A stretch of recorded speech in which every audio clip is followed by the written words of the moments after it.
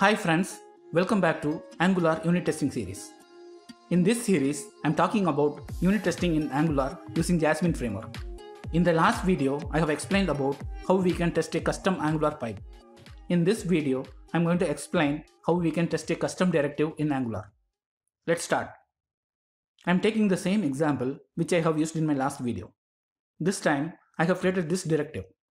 The idea is to highlight the grade in green color if the mark is greater than or equal to 90.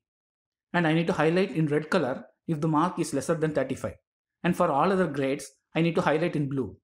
That is why I'm getting the mark through input and based on the mark, I'm highlighting using the respective colors.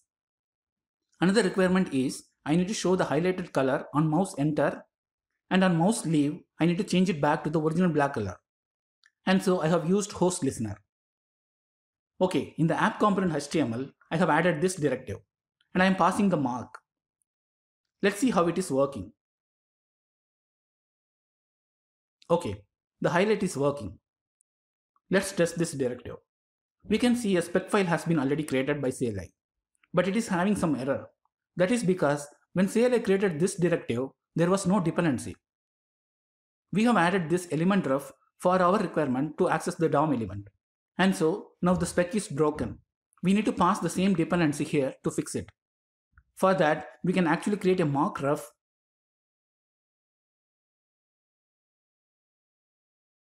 and pass that as dependency like this.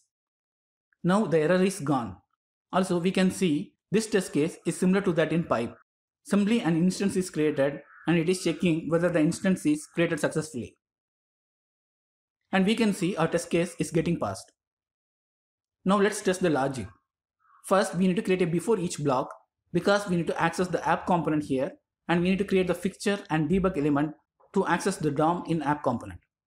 I'm going to use wait for async because this is going to be asynchronous.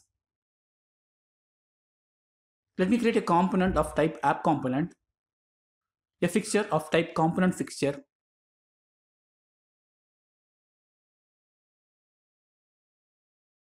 and an element of type debug element. And then inside before each block, let me configure the testing module. Let me declare the app component and after that let me create the component and assign it to fixture variable. Also let me create the component instance from the fixture and assign it to component variable. And also let me use the fixture to create the debug element as well. Finally, let me call the detect changes method in the fixture. Okay, now we can see our test case is failing. That is because as we are using grade pipe in the app component, we need to declare that also here. Let me declare. Okay, good. Now let's write our test case to test this mouse enter logic.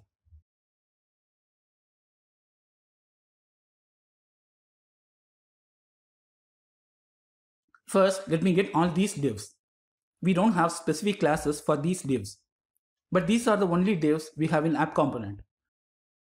So we can use the query function in the debug element and target these divs using the div tag itself.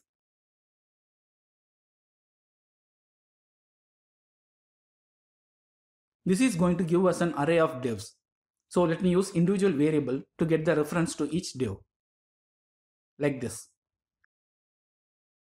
Now on the first div, which is div 0, let me use the event handler function to trigger the mouse enter event. And then let me call detect changes method from fixture to trigger the change detection.